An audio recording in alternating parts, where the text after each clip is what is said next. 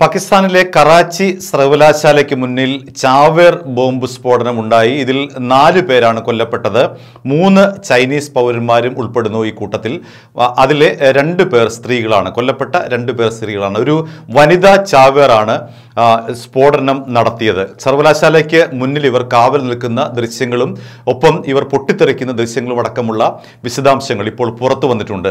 ഒരു വാൻ ഇങ്ങനെ വരുന്നു. ആ വാനിനകത്തുള്ളത് ഈ സർവകലാശാലയുടെ ഡയറക്ടറും അതേപോലെ തന്നെ അധ്യാപകരുമാണ്. ആ വാൻ സർവകലാശാലയുടെ വാതിക്കലേക്ക് എത്തുമ്പോൾ അവിടെ കാത്തുനിന്ന ഈ വനിതാ ചാവേർ ബുർഖ ധരിച്ചിട്ടുള്ള ഈ വനിതാ ചാവേർ പൊട്ടിത്തെറിക്കുന്നതാണ് ദൃശ്യങ്ങൾ. ഏതായാലും ഈ പൊട്ടി പൊട്ടിത്തെറിയുടെ ഈ ആക്രമണത്തിന്റെ ഉത്തരവാദിത്വം ഏറ്റെടുത്തിരിക്കുന്നത് ബലൂജ് ലിബറേഷൻ ആർമി എന്ന് പറയുന്ന ഒരു സംഘടനയാണ്. ആ സംഘടനയാണ് ഈ സർവകലാശാലയ്ക്ക് മുന്നിലെ ഈ സ്ത്രീയുടെ ചാവേർ ആക്രമണത്തിന്റെ ഉത്തരവാദിത്വം ഏറ്റെടുത്തിരിക്കുന്നത്. യഥാർത്ഥത്തിൽ ഈ സർവകലാശാല ചൈന സ്ഥാപിച്ചതാണ്. ചൈനീസ് ചൈനീസ് ഭാഷയും ചൈനയുടെ സംസ്കാരവും പഠിക്കാനായി അല്ലെങ്കിൽ അതിനെക്കുറിച്ചുള്ള ഗവേഷണത്തിനടക്കമുള്ള എല്ലാ സൗകര്യങ്ങളുമുള്ള സർവകലാശാലയാണ് കറാച്ചി സർവകലാശാല ഒരു ഭാഗമായിട്ടാണ് ഇത് പ്രവർത്തിക്കുന്നത്.